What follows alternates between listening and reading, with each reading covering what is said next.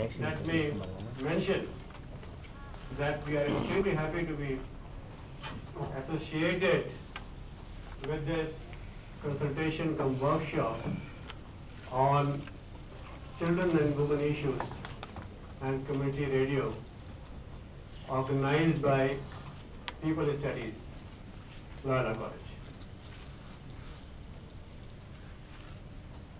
Uh, this workshop has really helped brought community radio stations which are active in Tamil Nadu and Kerala with a view to building their capacities by sharing best practices and professional experiences on issues related to women and children. And also to create a network to address issues related to future growth and sustainability of community radio stations. Translate or, uh, இந்த பயிற்சி பட்டற ஆஹ், இந்த கலந்தாலும் was has been to to really improve your knowledge and and skills related to children and women issues and also to raise concerns about these issues with a view to changing the situation for better. So, so that's very laudable objective. And the second objective which I could hear from you has been again to to create some kind of a regional network forum where you could use these experiences for wide-scale replication and also address issues related to sustainability of, of community radio stations. So by and large, I think all these objectives have been largely addressed and achieved.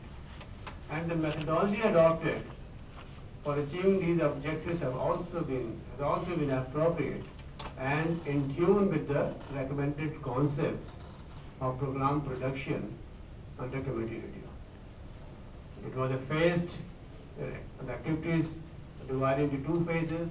The first phase consisted of sharing experiences and best practices, you know, professional uh, exchanges, uh, knowing the situation of women and children and uh, other issues, their own resource inventory analysis.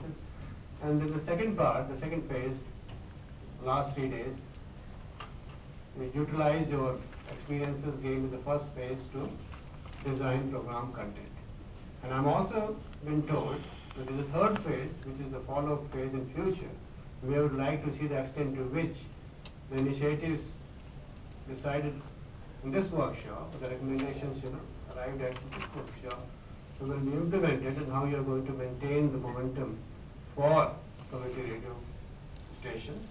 And also, you know, how you are going to create that particular regional network forum for wider applications of the programs which you have been able to design in this workshop. Community radio launched by the Multimedia Research Department of Anna University way back in, I think sometimes in October uh, 2004. Thereafter, as you know, the scope of community radio got expanded to include civil society's organization. And the first licensed community radio that went on air in 2008 was located in in in, in uh, famous, you know, that Pastapur declaration, that Pastapur village in, uh, in, uh, in, in, in Medak district of Andhra Pradesh. Now, the government of India recognized the strength of community radios through its guidelines issued in 2000, 2002 and then later on got modified in 2006. But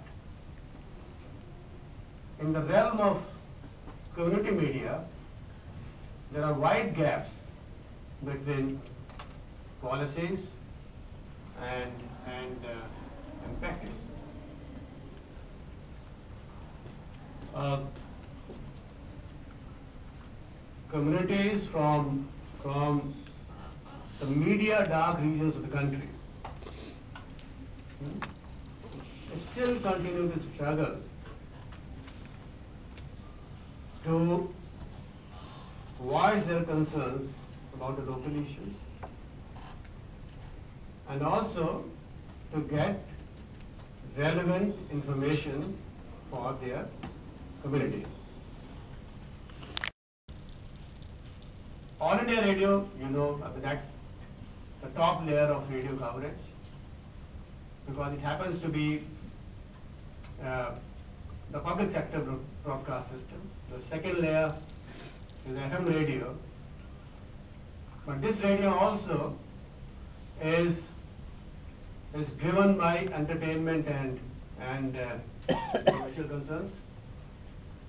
The third layer, you must understand, the third layer is what community radio is, which is closest to the people, not for profit, and community empowering